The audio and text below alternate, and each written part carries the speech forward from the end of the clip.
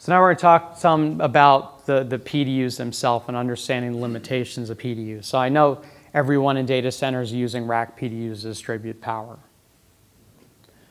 Again, like I showed you before, they can support multiple different types of plugs. You know, I give a little description of some of them here. But the biggest thing to know is the rated amperage. So a lot of times when I deal with PDUs, I'm thinking in terms of amps because in the end, like think of your home power panel, right? Our circuit breakers have amperage ratings on them. I mean, everything I do is in terms of amperage to make sure that we don't overload a circuit breaker internal to the PDU or external. So with this PDU, let's say I select this first line cord here. I know that I have 24 amps for this whole strip. Next thing I need to know is each of these receptacles, these are C13 receptacles, they're rated 10 amps. Now, right away, you know, well, geez, if I really wanted to plug 10 amps in every one of these, that's 120 amps. There's no way I'm getting that.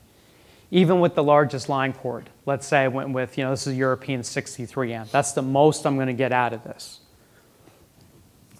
The next thing is there's, there's you see the small a through f.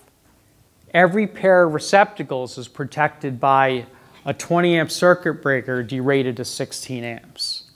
So that means for every two receptacles, I only get 16 amps. Now that means I can have 10 on one, I can have six on the other, I can have eight and eight.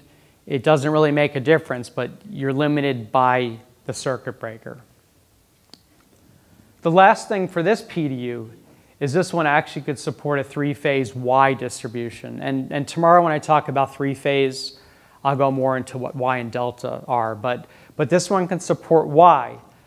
The way this is wired is every four receptacles now is connected to a line. So that's another limitation if you use this in three-phase.